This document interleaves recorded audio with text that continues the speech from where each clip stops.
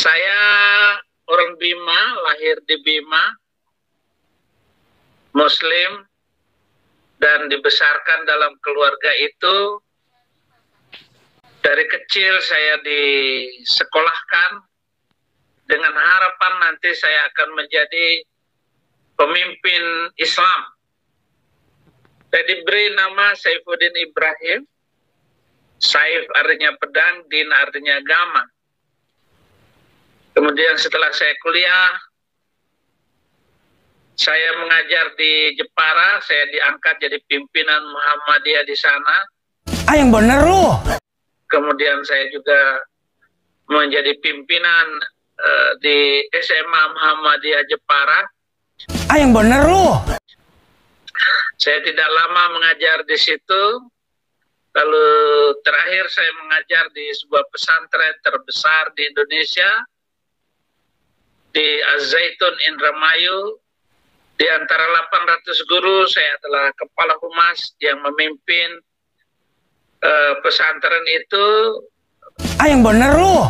Saya mengajar sejarah Islam, kebudayaan Islam, dan juga sejarah Nabi, tafsir dan hadis. Pada tahun 2005 saya didatangi oleh The Gideons International, yayasan yang membagi Alkitab ke seluruh dunia. Setelah saya memandang bahwa ajaran Islam ini susah untuk dikembangkan, ajaran Islam ini banyak menghambat kemajuan sosial, bahkan lebih cenderung agama ini mengalami uh, kekerasan. Tapi kenapa manusia selalu berbohong? Karena manusia dikelilingi dengan kenajisan. 4 Maret 2006, saya menyatakan sanggup berkorban dengan jiwa, raga, bahkan nyawa saya, serta apa pun yang ada pada saya, bagi memuliakan Tuhan Yesus Kristus. Oh. oh. Sederhana saya masuk Kristen itu karena kasihan dengan orang Kristen karena saya melihat penderitaan mereka, gereja nggak boleh dibangun, nggak dikasih izin, dan banyak kejahatan yang mereka lakukan terhadap gereja-gereja di seluruh Indonesia. Ah yang bener lu. Kau bermasalah dengan zaitun, bukan karena Injil, bukan. Kau bermasalah lalu kok keluar, lalu kemudian ketemu orang ya kebetulan switch saja. Jadi alasan karena pindah agama. Ya, padahal kau punya segudang persoalan, persoalan tanda kutip kriminal dan amoral. Tapi ya sudahlah. Ya, orang juga banyak tahu kok itu. Masalah apa yang terjadi kepada Saifuddin Ibrahim di pesantren Al Zaitun? Padahal bulannya dia pemimpin humas dan pengajar sejarah dan tafsir. Di sini dihadirkan mantan temannya di Al Zaitun yang bersaksi di channelnya Al Ayyubi. Saya di Makat Al Zaitun. Uh, saya kenal Pak Saiful itu di sana sebagai guru bahasa Arab. Karena timbul masalah-masalah dalam mengajar itu ya bahasa Arabnya complang-campling, terus mendidik anak murid itu terlalu keras, hal yang kecil aja dibesar-besarkan, suka nempelengin anak-anak murid gitu. Ternyata Saifuddin tidak menguasai bahasa Arab dengan baik. Bagaimana dia mau mengajar ilmu tafsir? Itu tidak mungkin. Dia juga suka berbuat kekerasan terhadap santri. Ini juga dibenarkan oleh mantan santri Al Jaitun yang pernah berguru kepada Saifuddin. Tapi Boim ini, kita sebut Boim aja ya. dalam kasus Boim ini, menurut saya dia keterlaluan. Banyak sekali anak-anak yang mungkin kakak kelas, terutama kakak kelas ya, yang banyak sekali menjadi korban ringan tangannya Boim ini hal yang uh, sebenarnya iya sepele terus dibuat seperti seolah-olah itu kasus yang akan mengancam nanti kalau kamu seperti ini kamu nggak punya masa depan kamu masa depan suram kamu eh. bermasalah akhirnya entah jalurnya seperti apa dikeluarkan now. Bye-bye then. karena menurut teman-teman ini Pak Saifuddin Ibrahim itu kurang bijak dan mendidik dan kurang kurang menguasai untuk mendidik sehingga ada tenaga pengajar yang lebih bagus Pak Saifuddin tersingkirkan. Dan di situ diangkat jadi brigade keamanan lah di sana. Oleh Bapak Panji Gumilang waktu itu pemimpinnya. Karena tidak memenuhi kualifikasi sebagai pengajar Al-Zaitun, Saifuddin pun dikeluarkan, diberhentikan dari tim pengajar Al-Zaitun dan dia diganti menjadi kepala keamanan di pesantren Al-Zaitun. Jadi tahu sama Saifuddin Ibrahim. Saifuddin yang ngaku mantan Tahu. orang Al Zaitun yang sekarang jadi pendeta. Allah tahu.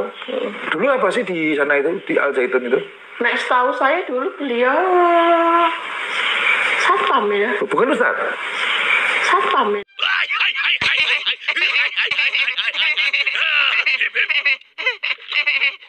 Sudah.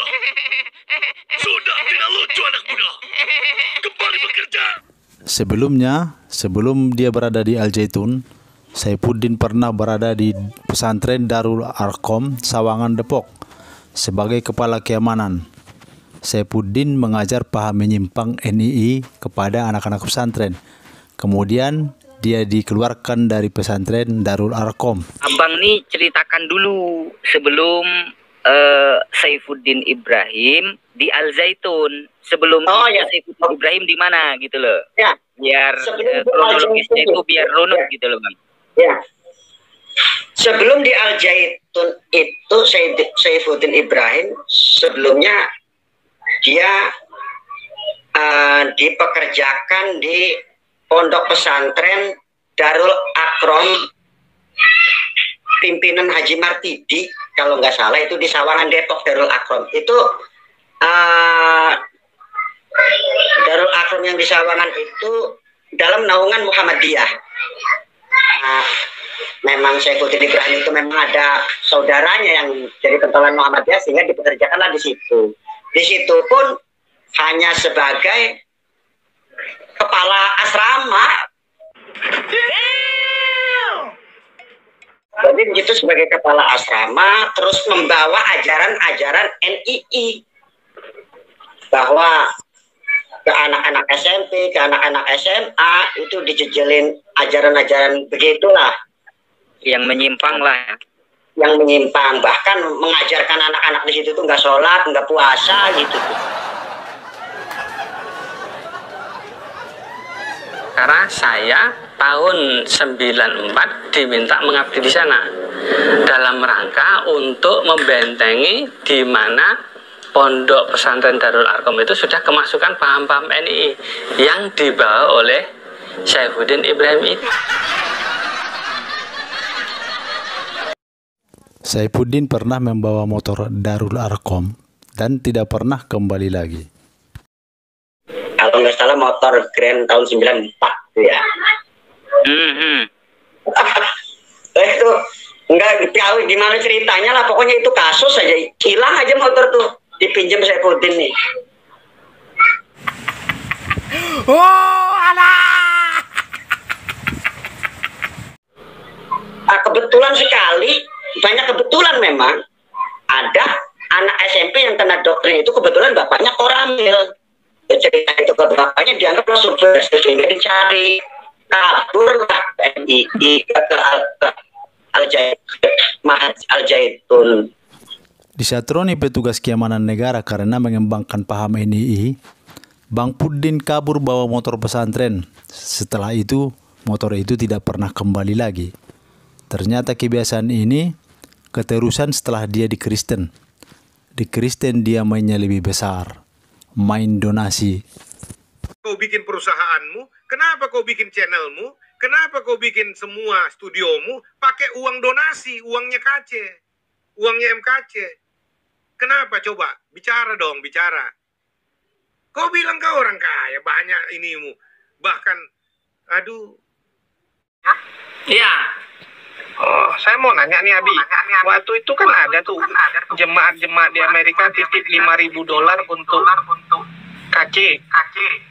Itu gimana ceritanya Abi? Kok bisa hilang? Bisa hilang. Kamu apa taunya?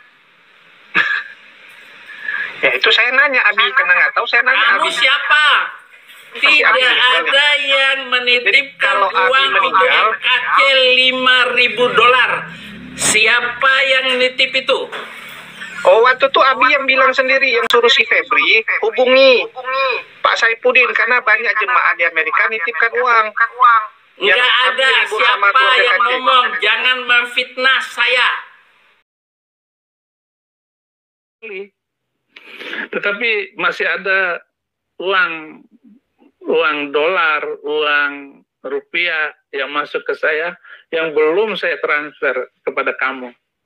Saya minta nomor rekeningnya nanti ya. Bang Bang Ahmad, saya jadi terpikir ini, saya mau tanya nih. Silakan. Pak Saifuddin, Saifuddin Ibrahim itu sholat enggak? Enggak. Dia nggak pernah sholat. Ini ya Pak, ini ya Pak. Silakan orang-orangnya masih hidup. Haji Martidi, pem- eh, pemimpin Pondok Sawangan boleh tanya tuh. Haji Mustaqim, Haji Sarju, itu saya yakin orang-orang itu sering kan kita ngomongin dia kan kok kenapa saudara satu ini nggak mau sholat mereka tahu semua bukan saya aja yang yang yang tahu bukan banyak orang yang tahu Panji Gumilang sendiri tahu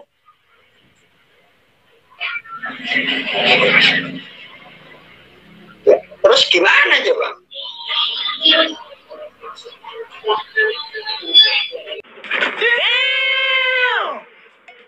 Ya itu repot pak.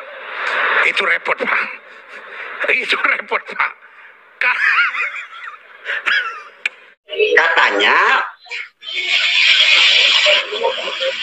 sholat di negeri kafir itu nggak sah maka karena negeri kitanya belum Islam kita nggak perlu sholat itu argumennya melulu itu Saya nggak mau sholat.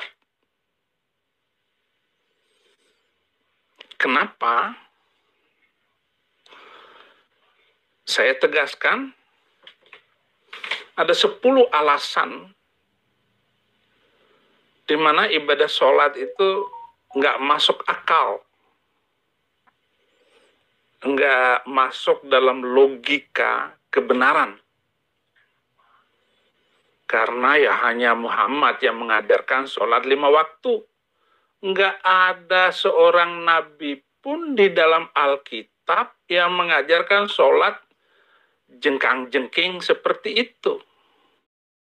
Ah, yang benar. Banyak di Alkitab para nabi-nabi bersujud dalam menyembah.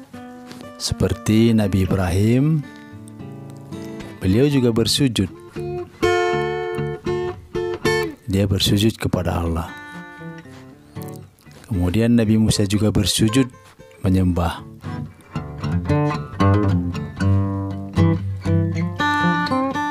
Nabi Daud juga bersujud. Mereka semua menyembah dengan bersujud. Yesus juga bersujud dalam menyembah.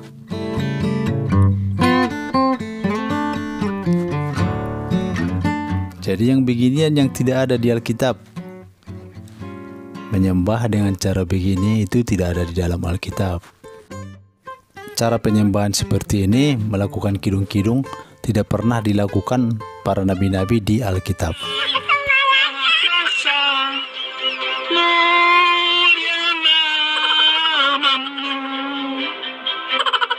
Jadi kalau ngelihat histori perjalanan Saifuddin ini segi akhlak, segi moral ya, itu sama sekali menurut saya nggak ada baik-baiknya nggak ada. Bahkan menurut keilmuan pun nihil nggak ada. Bahasa Arab aja celamat celemot begitu. Begitulah sahabat-sahabat, sudah kita saksikan bersama kesaksian teman-teman Saifuddin, baik semasa dia masih Islam maupun temannya sesama pendeta setelah dia Kristen. Seperti kata pepatah, teko hanya mengeluarkan isi perutnya. Jika di dalam kopi, maka kopi pula lah yang keluar. Begitu juga manusia. Jika mulut kita selalu berkata kotor, menyakiti orang lain, berkata dusta, itu pertanda hati kita kotor. sedang dalam pembusukan. Terima kasih sahabat-sahabat telah menonton channel ini. Saya mohon undur diri. Sudah saatnya saya pamit.